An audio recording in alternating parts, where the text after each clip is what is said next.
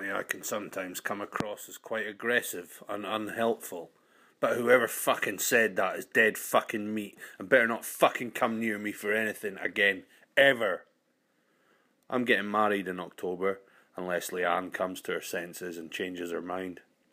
Her dad has got us an all expenses paid cruise and some blood pressure tablets as a wedding present.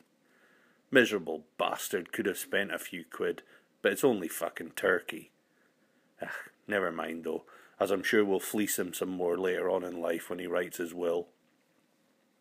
As for BT, well, I'm not sure that I like working there much anymore. Whenever the guys I work with try to get a bit of crack nowadays, I just feel like killing someone instead of joining in. Maybe I have too much salt in my diet, or perhaps I should start smoking again. Fuck knows. Rest assured, though, that although they call me Judas and Dobber, I couldn't give a flying fuck. I'm all about looking after number one now. And if someone wants to cover a keyboard in man fat and call it Vaseline, then don't look to me to be the cover up guy. I will sing like a fucking jaybird if questioned. Oh yes, I will whistle baby, whistle baby.